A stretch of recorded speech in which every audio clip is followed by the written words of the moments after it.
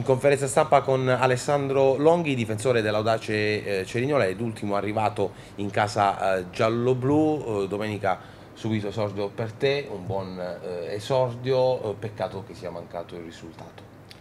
Sì, è mancato solamente il risultato, eh, parte, cioè, io ho visto una prestazione positiva da parte di tutti e penso che in questo momento, vedendo il clima che c'è, bisogna solamente stare tranquilli perché i risultati non possono non arrivare con la qualità e il gruppo che ho trovato in questa squadra.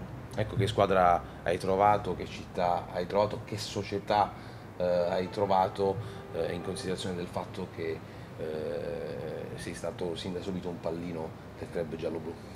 No, sinceramente non mi aspettavo una società così in Serie D e sono contento, mi sto adattando e trovando bene da subito e niente, dobbiamo solamente secondo me cercare di stare tranquilli che, che la qualità c'è, siamo forti.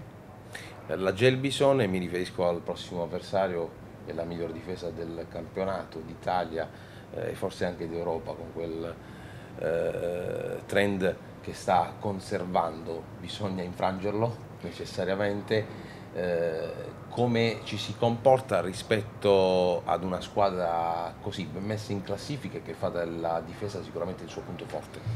Ma in questi giorni il mister e tutto il suo staff eh, hanno lavorato molto bene, ci hanno fatto lavorare bene, ci hanno trasmesso tutte le cose per, per sfondare questa difesa. Ecco, eh, tornando eh, alla gara di eh, domenica, cosa bisogna fare di più? E te lo chiedo sulla base di quanto visto domenica a Sorrento, su una squadra che c'è, il cui gruppo è sano e solido, è stato eh, rimarcato in più circostanze questa eh, settimana? Ma il gruppo è sicuramente solido perché io non, non mi aspettavo un gruppo così. Bisogna sicuramente qualcosa in più, lo dobbiamo fare tutti, dal primo all'ultimo e cercare di stare tranquilli quando magari si subisce gol, non andare nel panico e cercare di gestire meglio certi episodi.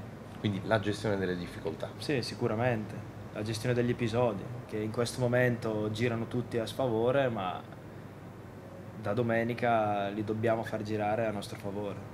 Grazie ad Alessandro Longhi, in bocca al lupo per questa Crepi. tua esperienza. Crepi, grazie. grazie.